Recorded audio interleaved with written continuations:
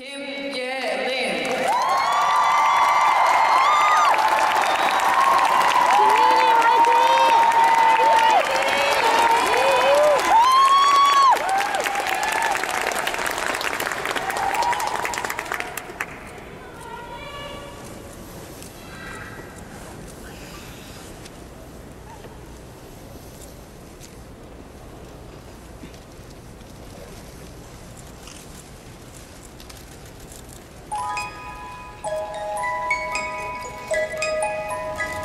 the craziest dream last night about a girl who was turned into a swan. She kills herself.